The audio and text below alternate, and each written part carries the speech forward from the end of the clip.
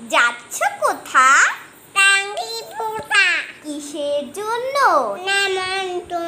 বিয়ে বুঝি? না বাবুজি। কিসের তবে? ভোজন হবে। শুধুই ভোজন? প্রসাদ ভোজন। কেমন প্রসাদ? তা খেতে যান কি খেতে চাও। কামাই পোলাও। ইচ্ছে কি আর?